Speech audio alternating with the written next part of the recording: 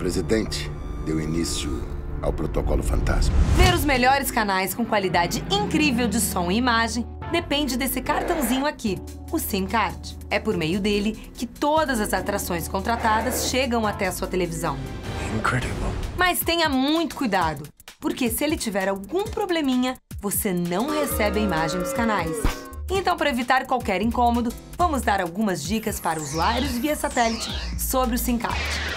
Em primeiro lugar, o mais importante, não retire o SIM card do decoder, mesmo se tiver algum problema com o sinal.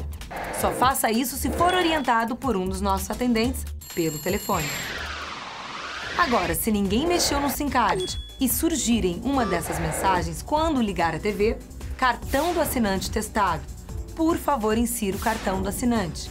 Ou, se até mesmo o SIM card tiver sido retirado sem querer, o procedimento é o seguinte. Se o seu decoder for esse da imagem, desligue o aparelho da tomada. Abra essa tampinha lateral, como no destaque. Retire lentamente o SIM card e insira novamente o cartão no decoder. Mas atenção! O chip deve ficar para baixo, como na animação. Depois religue na tomada. Nesse modelo em destaque, o procedimento é bem parecido. Primeiro, desligue o decoder da tomada, puxe o SIM card com muito cuidado ele está localizado na lateral, como mostra a animação. Depois, recoloque o cartão na mesma posição de onde foi retirado, com o chip virado para cima.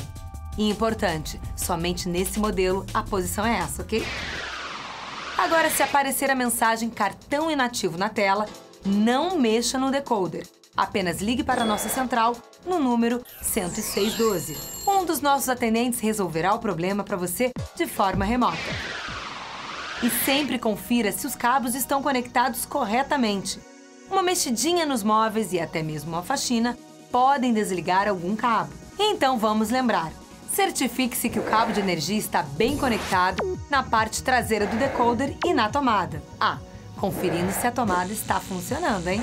Veja se esse cabo branco que vem do LNB da antena está bem firme na entrada LNB IN, atrás do decoder. Agora vamos checar os cabos de vídeo, esse com as pontas amarela, vermelha e branca. Veja se estão encaixados nas entradas correspondentes do decoder e da TV. E por último, cheque o menu do aparelho de TV. Aperte a tecla Source, Input ou AV e escolha a entrada correta. E preste atenção, verifique na TV o número da entrada. Os aparelhos costumam ter mais de uma. Escolha com controle a mesma que encaixou os cabos. Ah, seu decoder é HD? Tranquilo! Aí o cabo é o HDMI, esse com a ponta achatadinha, que é encaixado na entrada HDMI do decoder e da TV.